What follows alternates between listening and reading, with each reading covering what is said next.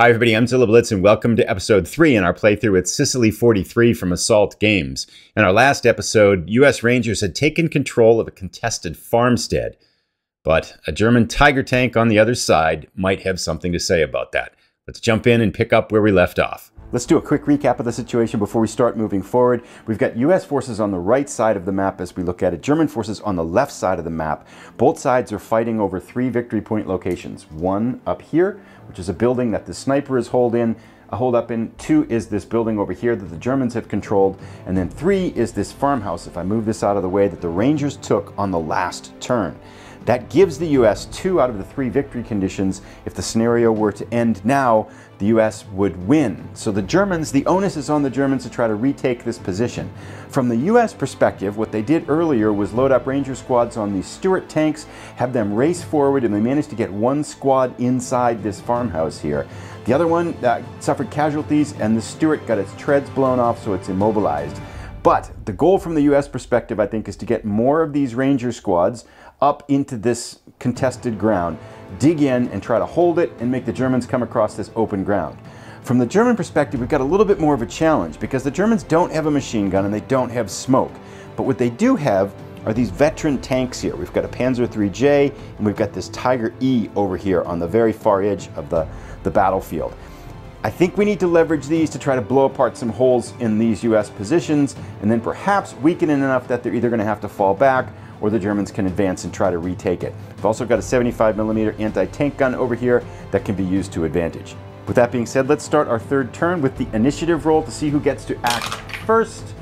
Germans with the decided edge in the initiative here. So we will go to our uh, command, our support phase, which basically, the one thing I'm going to do off camera is I'm going to allocate the command points onto the unit cards. We've talked about that before, so I'm only going to show that and talk about it if it comes into uh, impacting play going forward. Now, there, uh, we can change the Germans can act first in this support phase. One of the things they really only can do, because they don't have smoke capacity, is change the, the facing of their anti-tank guns. Uh, but they're not. This is actually, it's, in, it's positioned pretty well here. So the Germans will pass in their first part of the su support phase. The US, however, have their 60 millimeter mortar, and that most definitely should fire. Now the US mortar team has a number of options. We could drop some anti-personnel fire on these rifle squads, perhaps put some smoke in front of these tanks to block their line of sight. But I want to take the third option, which is what we did uh, earlier in the battle for them, which is to drop some mortar rounds on the 75 millimeter anti-tank gun. Now one thing we can do here too, we can have this machine gun unit, which is a spot for them rather than having them spot directly. Because if the mortar team spots, they have to look through this brush here and then through these woods. But this machine gun team has a direct line of sight with nothing hindering it in there. That will help our spotting roll. And if we do that, one thing that we have to do with the machine gun unit, although it is a free action, they do get attack dice minus one for this turn. So they've taken some of their time to spot for the mortar team.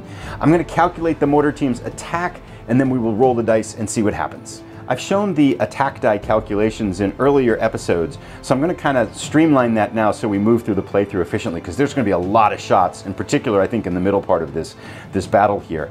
The mortars get, uh, with indirect fire, they get uh, two greens and a blue die.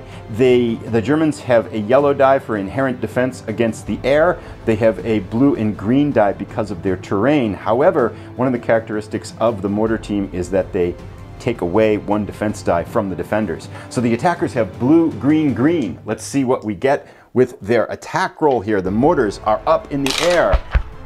Ooh, not bad firing again. We get a critical hit, a hit, and a hit. Let's see if the anti-tank gun can defend.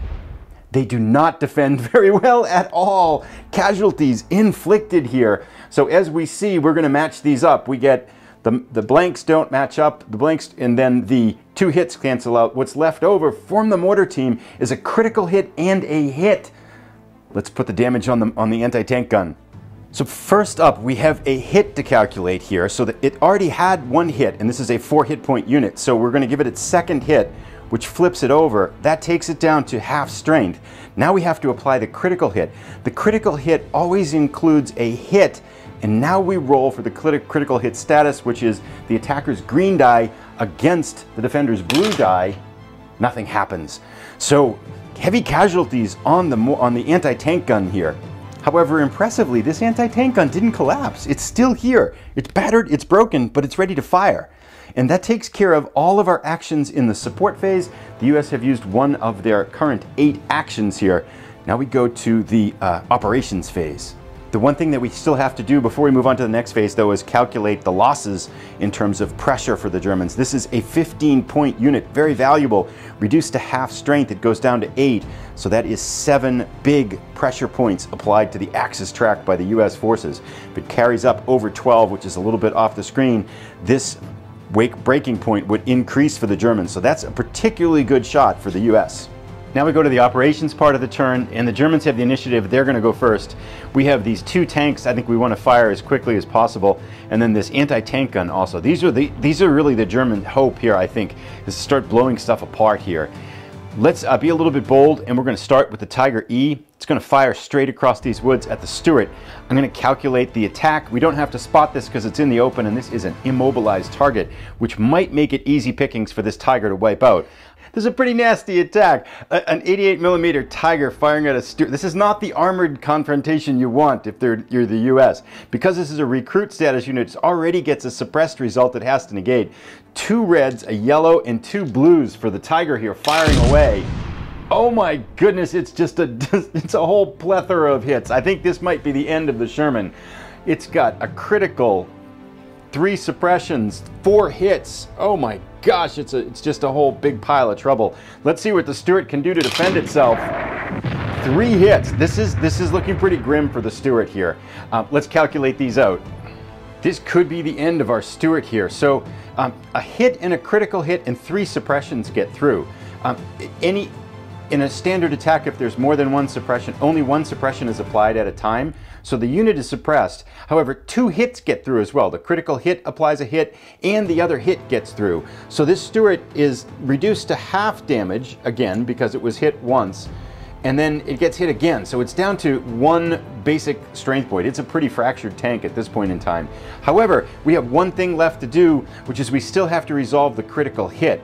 Now, if this has to get another suppression on it, that's a fallback, and because it's immobilized, it's gonna be wiped out. Green against blue, green's the attacker, blue, it survives. So the Stuart hangs on, but it takes another riveting shot, and it's kind of spewing smoke here. Pretty good shot there for the Tiger. Let's go to the US turn. Before we move on to the US action, we have to apply the damage to the, the half-strength Stuart. A full-strength Stuart is six, a 12, half-strength is 6, so that's 6 more points applied to the US pressure track. Casualties starting to mount with these damaged units and, and fractured anti-tank guns piling up here. I just realized this was off camera, but the US have this Sherman down here. Let's see if we can finish off this anti-tank gun before it does damage.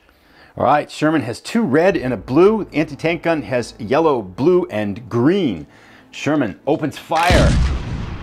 Two hits and a suppression on the anti-tank gun. If one hit gets through, it's wiped out. A hit and two suppressions.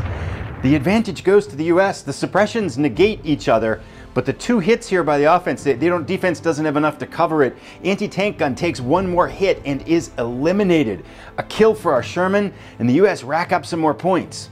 The difference between a half-strength anti-tank gun and a full one is another eight points. So we go one, two, three, four, five, come down here, six, seven, eight, and that ratchets up because we've gone over one lap. It ratchets, ratchets up the German pressure to three. They are only two levels to withdrawing, but Still a good bit of casualties to go before they get there. Let's go to the German action. I really want to fire the Panzer III-J, and I really want to fire it over here at this anti-tank gun, but I don't want to fire it until it's spotted because the anti-tank gun has a low silhouette, which can, it's going to make it really hard for the tank to spot it, which will make it for a tougher shot. So I'm actually going to let the anti-tank gun take a shot first, and then fire with the Panzer III-J, if we can do that. Which means, let's have these Rangers here open up, uh, sorry, the German rifle squad here, open up on the Rangers in the open. Because these Rangers are gonna try to push up quickly. This is kind of, doesn't really change the range calculation. So I think this rifle's shooting on the Rangers is a pretty good shot. We got them in the open. Let's calculate it. Rifle attack power is a nice red, blue, green. Rangers defend with the yellow, blue, green. A lot of little things adding up here. Pretty even shot here. Let's see what the rifles can do. Rifle squad can do. Ooh, a nice double hit there for them. Two hits and a suppression on the Rangers. Let's see how the Rangers react to their first fire. Oh, nice. Three hits and a critical suppression. That wipes out the attack. So the Rangers, no effect. This unit has fired. The Germans are done. Let's go now to the U.S. action. I think as the U.S., we are going to take this uh, anti-tank gun shot at the Panzer 3J. Uh, let's see if we can put some damage on it. That would be a huge hit for the U.S. Anti-tank gun only gets two dice at this range, uh, but they're both red, so that's a pretty good shot. The Panzer 3J defends with a lot of dice, but only one of them is red. Let's see what happens. The 50 anti-tank gun here, hoping for some big hits here. Oh, not very good. One complete miss, one hit with the suppression. Let's see if the Panzer 3J, I suspect it's going to have little trouble defending against that, which it does. So no impact for the 57 millimeter uh, anti-tank gun. And now the Panzer 3J crew can smile and say, we got you back. So let's have them return fire. That's exactly the shot we were hoping for for the Germans. They're gonna open fire and let's calculate this attack. Panzer 3J is firing with the red, two greens and a blue. The 57 millimeters defending with a yellow, a green, and a blue. This is a pretty good shot for the for the Panzer 3J here. Oh, it completely whiffed. What a terrible shot. One measly suppression on all those dice. Should be an easy defense here. they almost get drilled, but they survive. No effect by the Panzer 3J. Let's go now to the US turn. For the US, I think our objective here is going to be to try to clean up this mess. Now, a unit, an armored vehicle can move backwards at half its speed, rounded up. The Stuart has a movement of five, so we can also do a fire and move. It's got enough movement points to fire if we're just going to have it move one back, back one hex. So we're going to take a rather long shot at this Panzer 3J. It's got to fire through this multi-story building, or around it basically kind of thing, which makes it a really hard shot, but there's no harm to trying. So we'll set up this shot, take it, and then we're gonna have the Stuart back up so we can open up this rocky ground for the Rangers to move up and in. This is a long shot for the Stuart. We've got a red, a blue, and a green as a firing thing. The building in the way, and the Panzer 3J's armor gives it a lot of defense. Red, red, and experience too. Red, red, yellow, green, blue. Let's see if the Stuart can get lucky as it opens fire here. Two hits, that's probably not gonna do it. Lots of opportunities to defend for the Panzer 3J. Yeah, it blocks the shot, no problem. But the Stuart can fire and move, and we're going to have it move back and open up, backing up right to this zone. That takes care of the US turn. Let's go to the German turn. So the Germans have some decent shots here at units, but I think given the range, it might make more sense to have them let the US forces move up and then shoot them with opportunity fire. The Germans have actually four orders left here, but they are going to pass. We're to go back to the US movement down here. We're going to have this US Ranger squad move up into these this rocky terrain here and just kind of a basic regular move, uh, a normal action move. And we're not going to have the Germans fire at them because as the Germans, I want to wait to shoot the, at the full squad here to see if we can uh, render them a little bit, kind of tear them apart. It's a bigger, fatter, juicier target here. So that's the US action. Germans, again, are going to pass here. So that gives us back to the US. Now we're gonna try to this Ranger squad, make a mad dash up to these woods up here.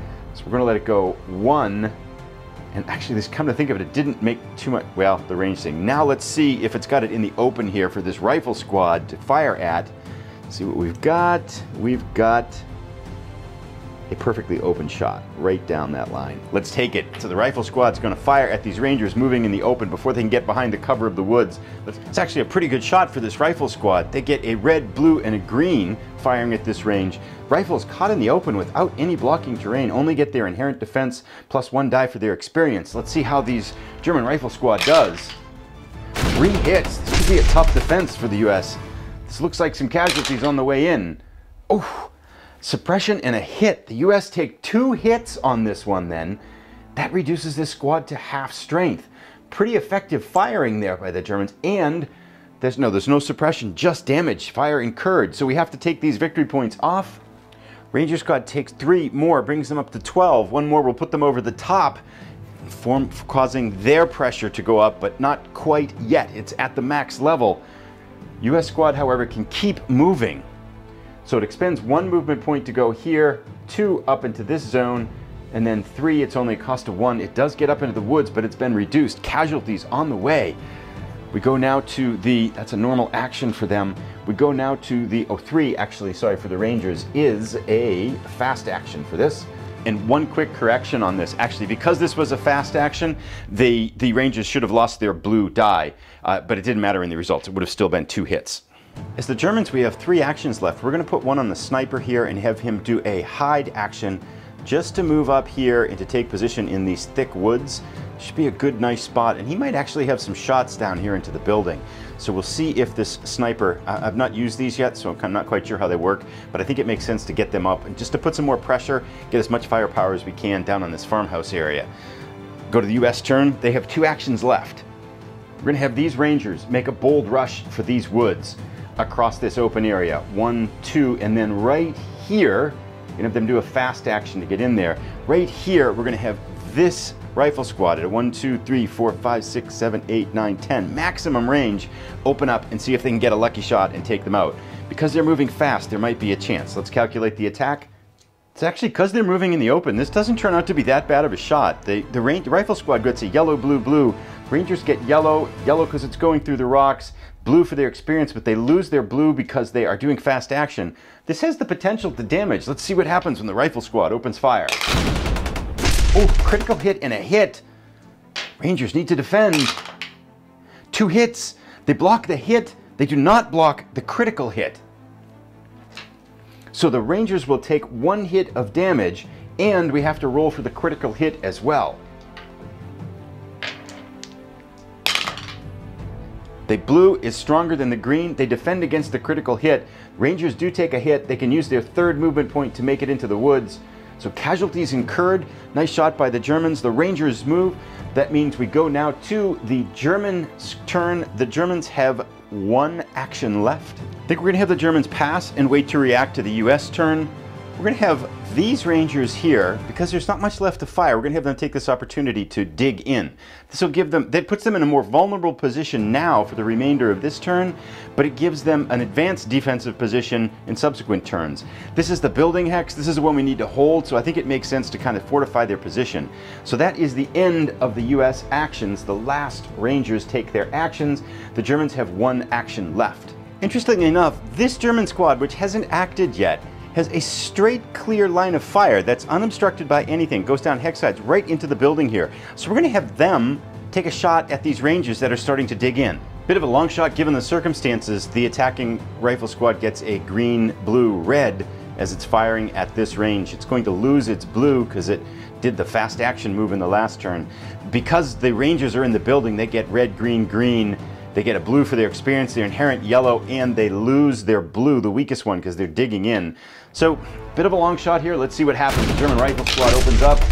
Oh my goodness, that's some deadly shooting. Two hits, three hits, and a critical. This, this could be bad for this unit in the house here. Oh, oh my gosh. Yeah, that's how to defend. these Rangers are here for, they're here for the, the duration. Look at that. That's about as perfect a roll as you can get. Three criticals, three hits, and two defenses. Yeah, not a chance. That was some nasty firing by the Germans and some incredible defending by the US. That finishes the German action, finishes the US action. Turn three is done. As we go to turn four, the loss of the anti-tank gun is going to hurt for the Germans, but I don't think the strategies have changed. US want to consolidate around this defensive position here, although they've taken some casualties think the Germans want to still take advantage of this Tiger and this Panzer J. I don't know what the US can do against the Tiger at this point. We'll continue on. The Germans have extracted a good bit of casualties on the US too. Basically have this Stuart almost wiped out and kind of cut down to half strength two Ranger squads. The battle rages on. Let's begin with turn four. Once again, we'll roll for initiative. Blue die is the US die. Germans get a red six, which means they will have the initiative. One of the things that happens as units get eliminated is that you lose a command option for that unit. So the Germans go down from seven commands in this turn down to uh, six. Now there is a limit you can have, you can't get down to lower than four, but the Germans will have one less. So they'll have six commands that they can execute in this turn, whereas the US still retain their original eight, giving them a slight operational advantage here. Once again, off screen, I've put the command tokens on the unit cards and I'll talk about those if they have an impact on play. Now we're drifting off into the support phase. The Germans don't really have anything to do. The US, however, will once again fire this mortar. The question is what to shoot at. So eventually these German forces are going to have to push up and try to take this ground. So they're going to need boots on the ground to get some of these objectives. So I think it makes sense to, with the mortar, that don't think it's going to be very effective fighting against the armor, that we should try to take out some of these forward German infantry squads. So we're going to have the mortar fire at this rifle squad here. I've calculated out the attack. It's two green dice and a blue die for the mortar firing over. It did fail its spotting roll, so we had to add in a green die. However, you lose the lowest defense die on mortar fire. So it's going to be two greens and a blue against a yellow. Should be an interesting shot here for the offense. Mortars are in the air. Oh, what a terrible shot. Nothing. Don't even have to roll for the defense. US mortars completely ineffective. That completes the support phase of the turn. Now we go into the operations phase. Germans win the initiative, so they will go first. Because of the hit it'll put on the US morale, I think we want to try to take out this Stuart tank. So we're going to have the Panzer III-J fire at the Stuart, Stuart tank and see if it can knock it out of action. Right, we've calculated out the attack. Panzer III-J gets an automatic suppression route result because this unit is a novice, an inexperienced recruit level unit. Pretty decent attack here. Let's see if the Panzer III-J can take him out. It opens fire. Oh man, neither side. It's raining or something like that. We get two suppression results on it. Stuart defending, Whoops, that one went over the top. I'll re-roll it. So. Stuart gets two hits and a suppression. No effect for the Panzer J. The hits and, and suppression can negate the results. So uh, that was pretty ineffective for the Germans here too. Panzer 3J has fired. Now we go to the US turn.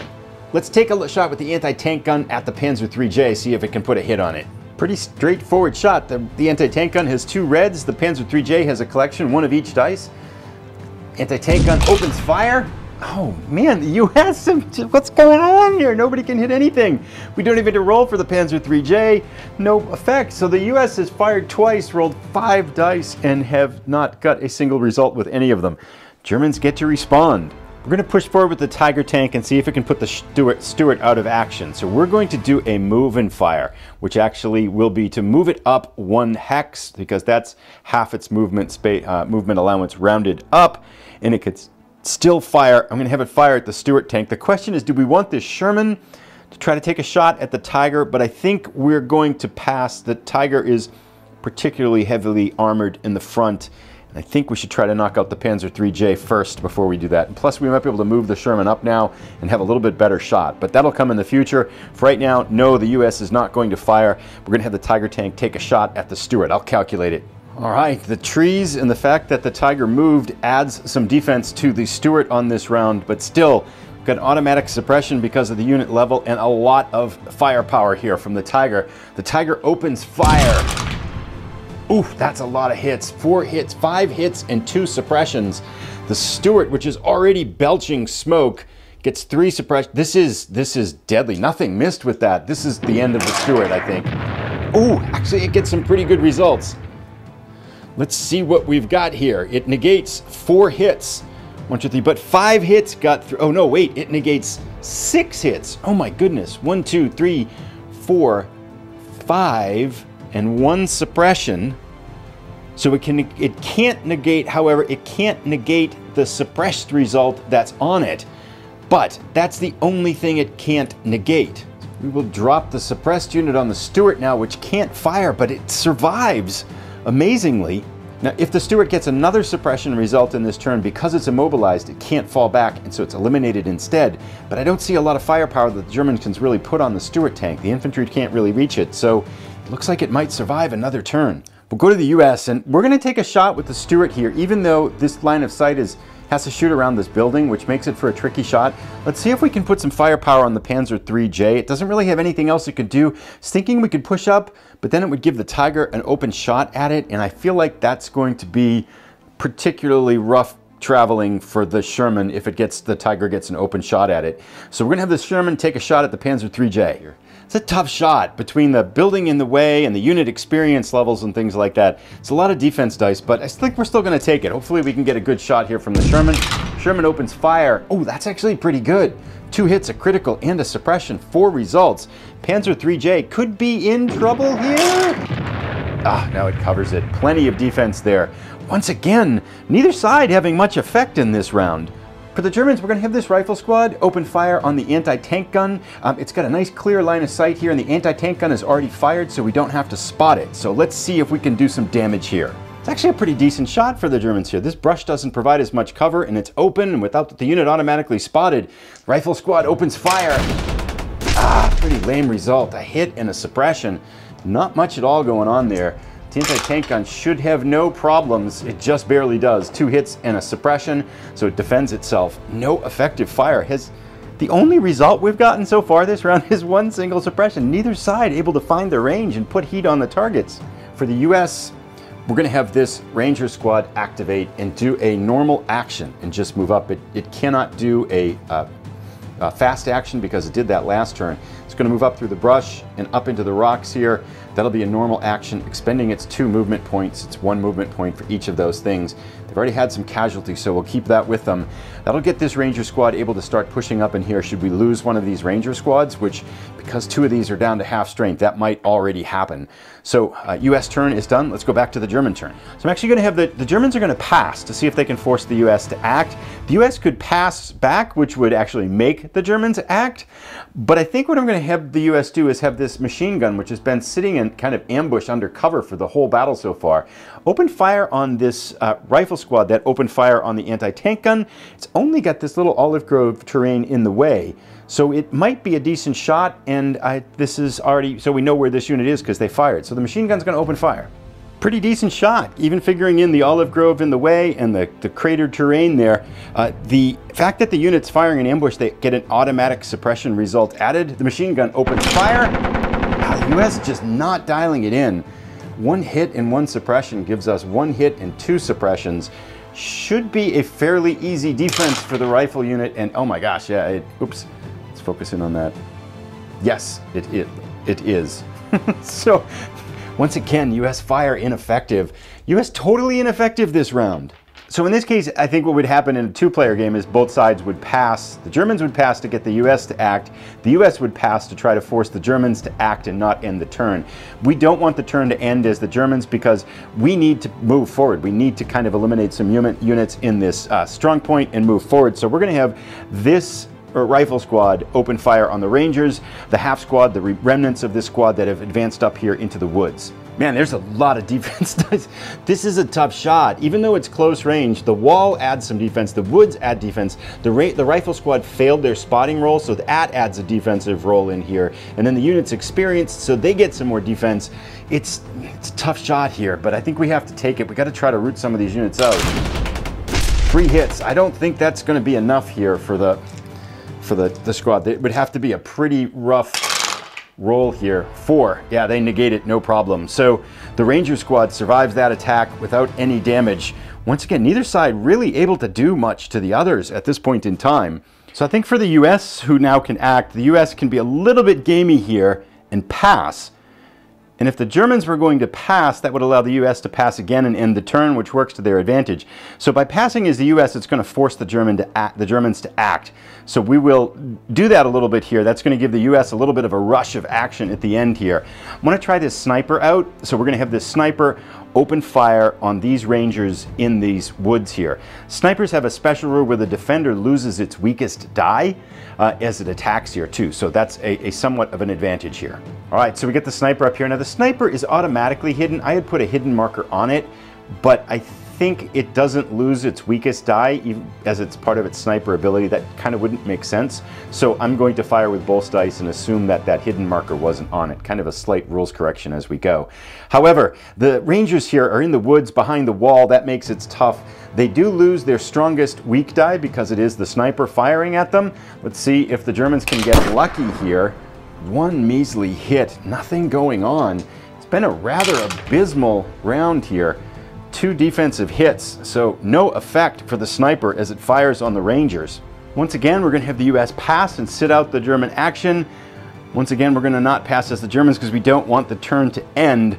We're going to have this German unit here take a long shot at the Rangers that moved. I think that's a better shot than up in here, hoping to do some kind of damage here. It's been a very uneventful turn. One thing we can do with this unit firing here is we can also have a joint fire, which adds in the best attack die roll from an adjacent, up to two adjacent units. They are marked with firing as well, so we're gonna have this rifle squad join in. It degrades the firing though because it's going through some uh, obstru obstructions there, so it ends up adding a, a weak blue die but still it's some added firepower. And this is the last German action, so we might as well do it. They end up with a yellow and three blues. The Ranger squad ends up with two yellows and two blues. I'm out of blue dice, so I'll swap that out. Let's see what happens. It's not that bad of a shot actually here. Ah, only two hits.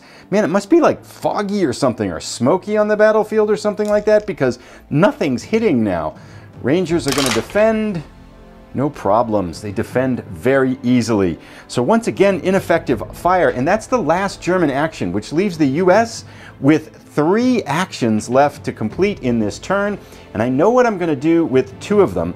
We are going to, now that they can't be fired at, we are going to have this Ranger squad and this Ranger squad dig in because they will be able to dig in while they're not taking any fire. They'll be dug in for the next turn, making it even harder for the Germans to take them out. So I feel like this is just a, a just a for the US, we're just holding up here. We have one action left, which is going to be to move and fire with this Stuart. I want to see if we can take a shot at the Panzer maybe even this infantry squad up here. We're going to have it gets one free facing uh, per turn. It's got a movement of five, so that one's free. Then we can go one, two, and we can do another facing vertex change for three. This is going to lose its thing there. So it ends up being positioned up in here and it can do a move and fire. And let's think what we want to shoot at. Let's kind of calculate which one is going to be the best target here. See, we're going to take a shot at the infantry squad. It's got less defense and the Stuart's actually not that bad against infantry. So we'll calculate this out. All right, we've got a red and two blues for the fire and then Green because it moved, green because it's firing through the woods, yellow because it's in craters, and yellow for its defense. Let's see if the Stuart can do some damage. US has done no damage this time. A hit and a suppression, which really isn't a very great shot for it. Defending here, expect we'll see no problems, and there isn't any problems here no absolute trouble whatsoever. So the US, totally ineffective. That ends their final move here. We've moved all eight actions for the US and all six for the Germans. So as we wrap up turn four, I've pulled all the marker. The US forces now dug in in the woods, in the building, and in the rocky train behind it. We've got the Stuart tank sitting behind there to kind of take out some fire at some of these units over here. Uh, it's a tough, I feel like it's a tall order for the Germans at this point. But neither side shot particularly well in that last round. I mean, there was just some horrible shooting on both sides. So I would expect to see, for example, this anti-tank gun's vulnerable. The Stuart should have been knocked out by now, I think. And this uh, Sherman tank down here in the very edge, those could be targets. I think the Germans still need to deal damage with these two tanks. And if they can do that, then I think they have a chance to kind of edge the U.S. to a little bit more of a, a kind of a dangerous position and perhaps make a last rush with some squads here. But this machine gun up here, uh, mortars, anti-tank gun, it's a, it's a tall order for the Germans here. It's looking pretty good, I think, for the U.S. I'll be back and put a link to episode four as soon as it's ready. Here, curious to hear your comments. If you have any questions, let me know. Thanks for watching, everybody. Take care.